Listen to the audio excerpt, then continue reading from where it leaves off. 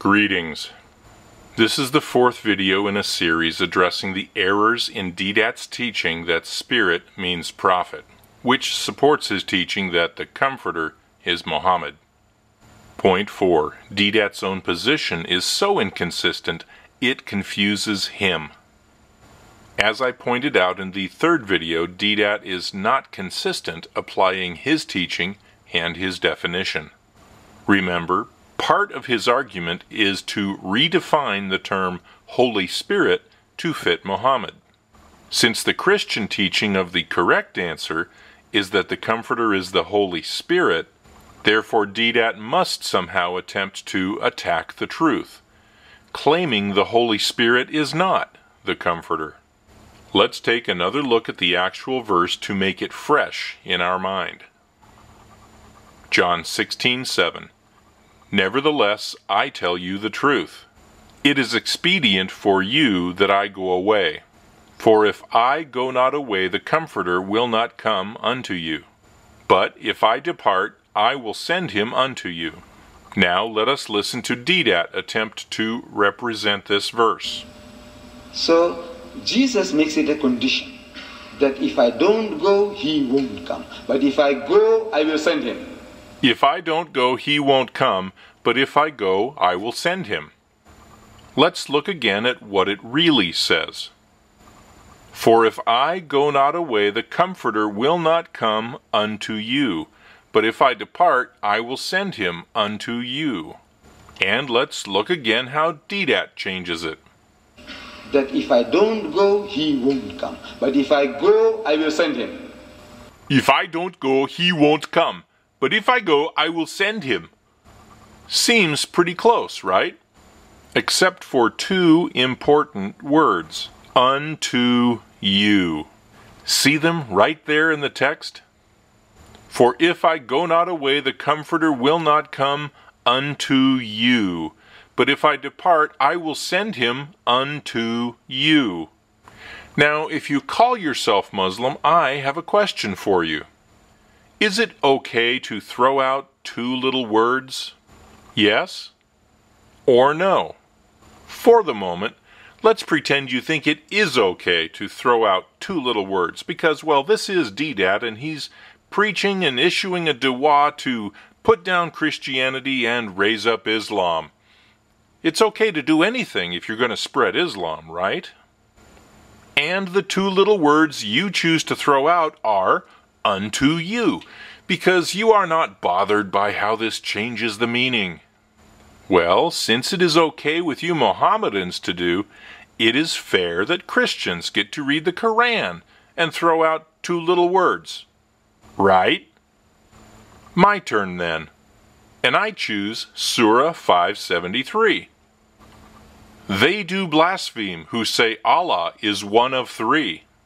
And in the spirit of equality, I will only remove the same number of letters. I won't count the fact that you removed unto you two different times. Unto you is seven letters. Of three is seven letters. So here is the way to read the Koran playing the Deedat game. They do blaspheme who say Allah is one. I'll pause while you snuff your hookah and clean the hummus off your screen.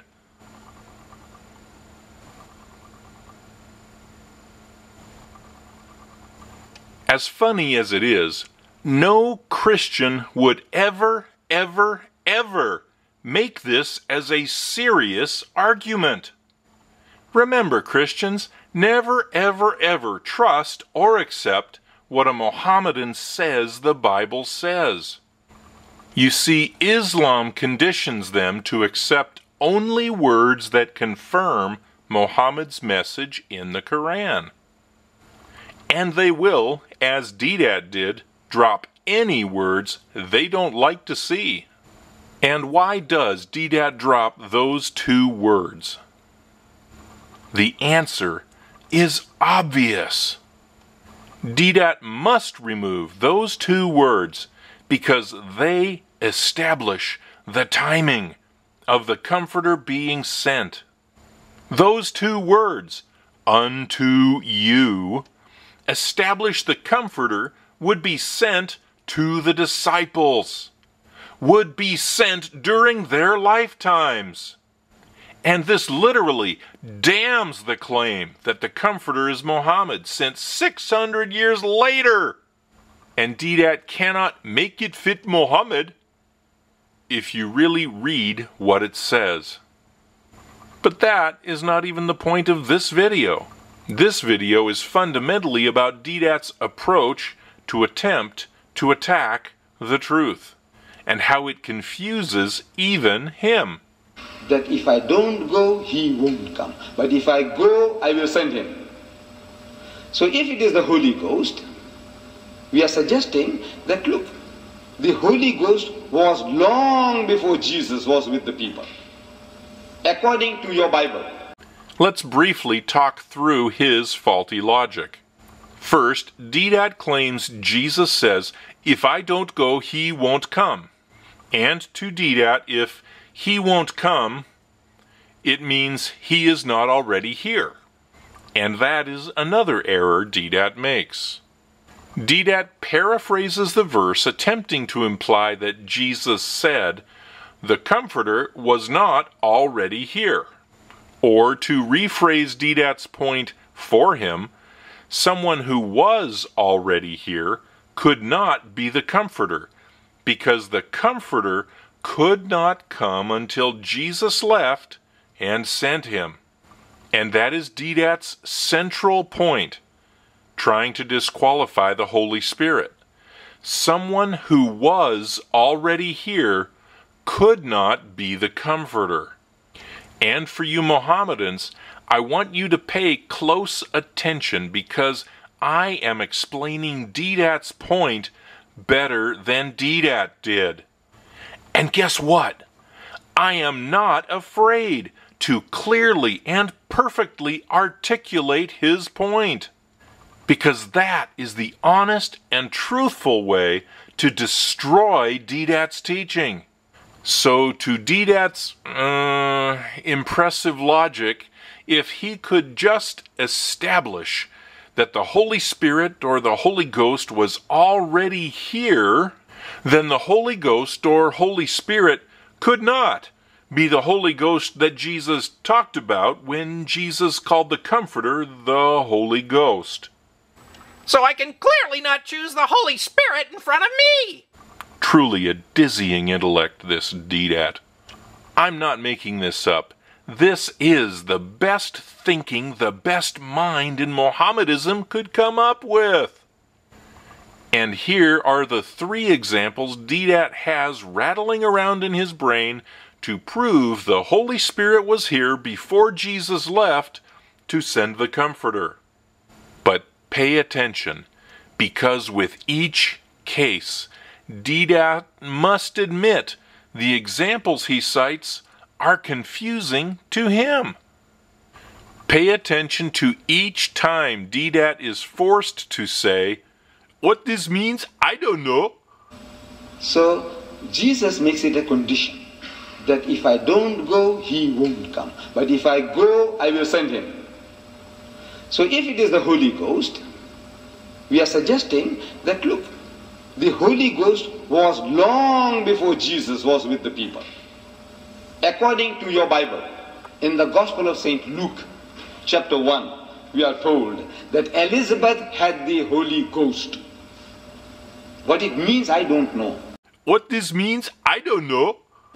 But she had it before Jesus was born. The Holy Ghost was there. It tells us again that Zechariah had the Holy Ghost. What that means, I don't know. What this means, I don't know. It also says that John the Baptist, Yahya alayhi salam, they call him John. Yahya, we say Yahya. Yahya alayhi salam. He had the Holy Ghost from his mother's womb. Before he was born, the Holy Ghost was with him in his mother's womb inside. What he was doing inside there, I don't know. What this means, I don't know. But it was there. Look, look, this is what the Bible says. Deedat says, I don't know, because he literally does not have any clue who the Holy Spirit was or what the Holy Spirit did on the earth for 4,000 years before Jesus left and sent him to live in the disciples. Jesus, when he was preaching and healing, he said, I, by the Spirit of God, do these, these things. I, by the finger of God, cast out devils. Spirit of God is that Holy Ghost. Did the Holy Ghost help him in his ministry? He said, yes. Help him to do, perform miracles? He said, yes. Did the Holy Ghost help his disciples? He said, yes. When they went out on the mission of preaching and healing, with whose help were they preaching and healing, if not with the help of the Holy Ghost? So the Holy Ghost was with Elizabeth, was with Zechariah, with John the Baptist from his mother's womb, was with Jesus, was with the disciples. I admit I mock Deedat's ignorance, but I must point out at this juncture, he was very close to the truth here. The Holy Ghost was with all of these people Deedat names. So the Holy Ghost was with Elizabeth, was with Zechariah, with John the Baptist from his mother's womb, was with Jesus, was with the disciples. You just heard Deedat argue the Holy Spirit was with the disciples, right? And Deedat makes this claim because he thinks it proves the Holy Spirit is not the Comforter. So the Holy Ghost was with Elizabeth, was with Zechariah, with John the Baptist from his mother's womb, was with Jesus, was with the disciples. So it makes no sense to say that if I don't go, he won't come. Condition. But if I go, I will send him. Is something other than the Holy Ghost. And this is simple, basic.